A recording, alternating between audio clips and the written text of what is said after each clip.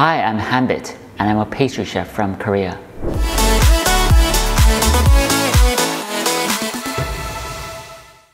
Hi everybody, it's Hanbit here. 안녕하세요, 조한빛입니다. In this video, I'll show you how to make an amazing hazelnut praline. I'm using hazelnuts today to show you how to make this amazing praline, but you can use any other type of nuts you wish. So that includes almonds, pistachios, pecans, black sesame, and etc. I've already uploaded a tutorial on hazelnut praline, but I just felt that that video wasn't comprehensive enough. In that video, I showed you how to make the hazelnut praline using the dry caramel method but I left out the wet caramel method. So in this video, I've decided to include both. And by the way, I also have a video on how to make the black sesame praline, so please take a look if you need it. So talking about praline, what is it? When we say praline, it refers to nut paste. But it's not just any ordinary nut paste. It's caramelized nut paste, and that is what makes it so good. The idea is that you caramelize the nuts and then you blend that or grind that into a form of a paste. Caramelizing the nuts not only adds the amazing flavor of caramel, but it also deepens and brings out the nutty flavor. Have you clicked like and subscribe?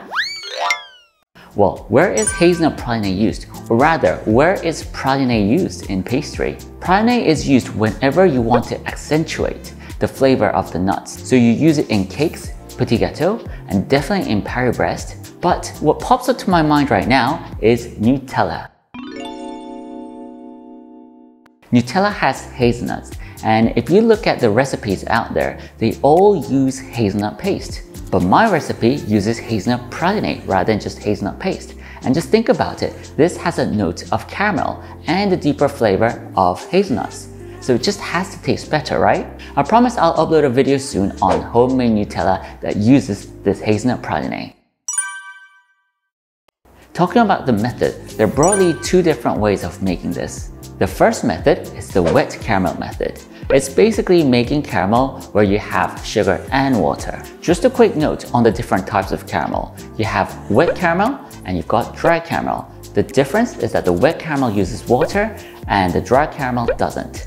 In the end, they're both caramels, but the process is slightly different. So the first method is using the wet caramel. When you add water, you definitely don't need to worry too much about your sugar burning or melting in an unevenly manner. The second method is the dry caramel method. The idea is that you prepare the caramel and the hazelnuts separately, combine them, and later blend them. So what's the difference between the first method and the second method? Well, the difference would be that the first method takes a bit longer because you're using water, but it's easier.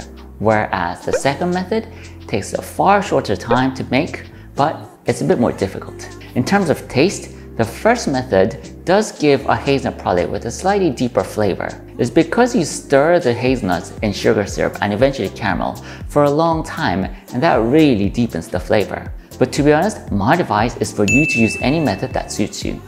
Now, a couple of points before we start.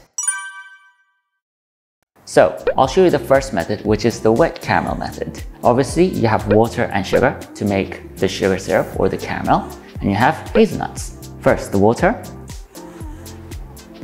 followed by sugar. What I'm going to do is make a sugar syrup of 115 degrees Celsius and then add in the hazelnuts. I'm going to use an infrared thermometer to measure the temperature. I know that these infrared thermometers aren't as accurate as probe thermometers, but still, they give a very good indication, so I'm going to use it in this case.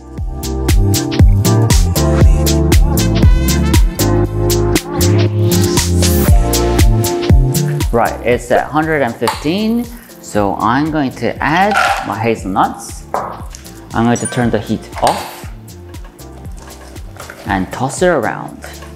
I'm going to continue to stir it and the sugar syrup is going to crystallize on the surface of the hazelnuts.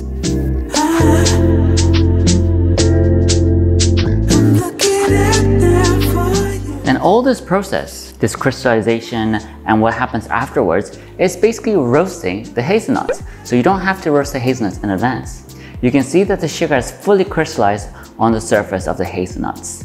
And once you see that, you're going to turn the heat back on and then caramelize it. Now I'm going to turn the heat back on. I'm going to put it on low heat. Continuously stir it. Your arms may hurt a bit, but you'll get an amazing hazelnut praline and it'll all be worth it. I can see that the sugar crystals are starting to melt. Make sure you stir it well and melt everything evenly. Scrape the sides down as well because the sugar crystals are stuck on the side.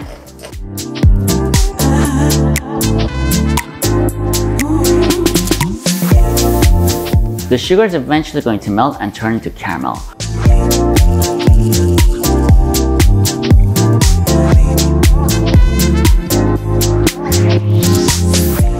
The temperature is there as a rough guidance, but you should really do it by looking at the color. You don't want the color to be too bright as that won't taste much like caramel, but not too dark either as that will taste bitter. Let me just check the temperature. Just measure the temperature on top of the hazelnut, not the bottom of the pan. Right, it's 175. Now off the heat.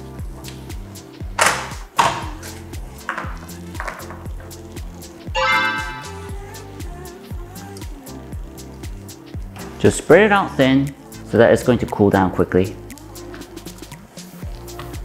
Great, I'm going to let this cool down completely and blend it into form of a paste. For the second method, we're going to use the dry caramel to make the hazelnut praline. So here we have sugar and hazelnuts. In the case of this second method, you need to roast the hazelnuts. And what the roasting process does is it really draws out the nuttiness of the hazelnuts. Some people ask whether it makes a difference, and trust me, it makes a lot of difference, so you have to roast the hazelnuts beforehand. Just spread the hazelnuts out on a pan and roast it in the oven. Sugar goes in. Just spread it out thin. So I've turned the heat on and I'm trying going to melt this as evenly as possible. You can definitely stir it around with a spatula because there's no water in it, so you don't have to worry much about crystallization. But what happens is the melted sugar tends to stick on your spatula, so I try not stir it and just leave it as it is. You can see that the sugar is starting to melt. Feel free to take it on and off the heat, just to control the whole thing. You can swirl it around. Just like before, I'm going to look for a brown color for the caramel. I usually don't measure the temperature and simply look at the color, and you should do the same but I'll just measure it today to give you a rough guidance.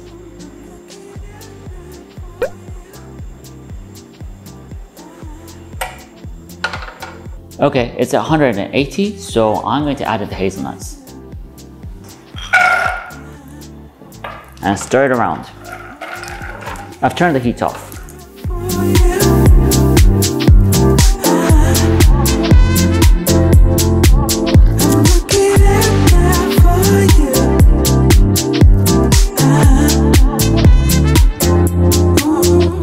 Hazelnut is really cold in the view of the caramel. So when you add in the hazelnuts, the caramel is going to cool very quickly and harden and become very sticky. So I've covered my hazelnuts in caramel, so I'm going to transfer it onto a mat now.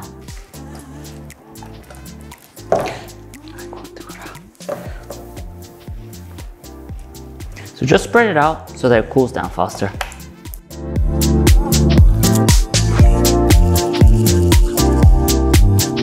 Great, so I'm going to let this cool down completely and then blend it and turn it into a form of a paste.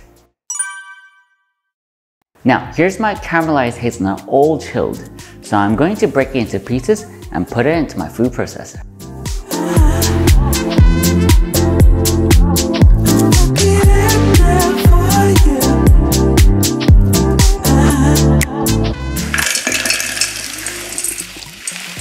Now, I'm just going to grind it into a paste.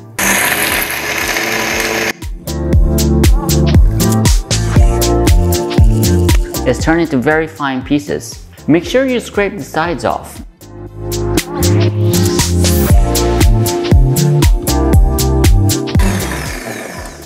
Let's check. Wow, it's becoming a paste. Look inside right here. So I'm going to scrape the sides off and the lid and then blend further.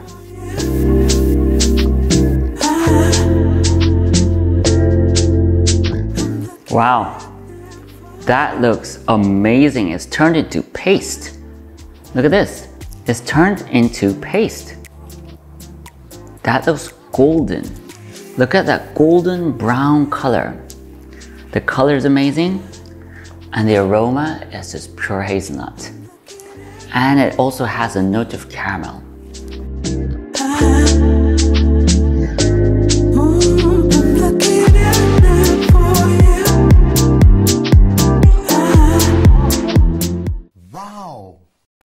Wow. That is more than fantastic. The nuttiness of the hazelnut is at its max, and there's a note of caramel at the same time.